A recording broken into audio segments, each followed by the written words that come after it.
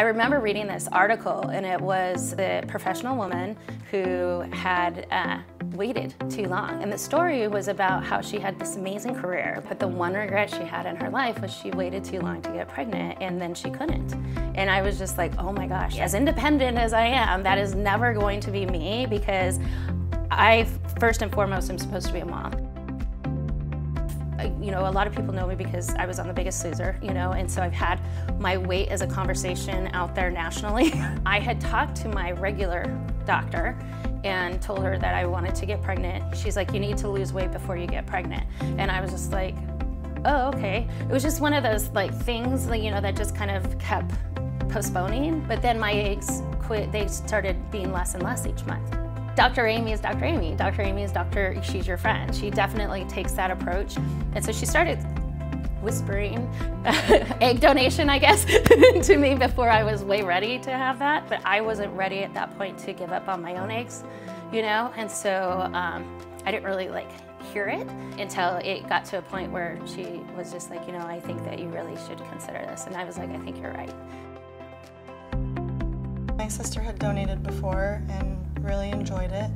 Her first egg donation ended up being really good family friends of ours and we know the child really well and it was just a good experience all around. Through her coordinator, I got involved with it um, just to kind of keep giving the same gift. I know that I'm about to meet Tyra, who is, I've just known her as the Tyra Eggs. So Ali's kind of my closest connection so far. I'm pretty nervous. I'm totally nervous. All right. Hey. mm, you look beautiful. Mm. Hi, honey. No, I know. Congratulations. Thank you. In advance. Thank you. I'm you. really excited for you. Because like I just want to like remember you so that like you know I, if I see it in my son then I'll be like oh my gosh I remember that smile Yes, or that's remember awesome. that you know It's kind probably gonna be like a really weird laugh. well good then do it with me. Have that to look forward to. To be able to take someone from not having children to having children is so cool.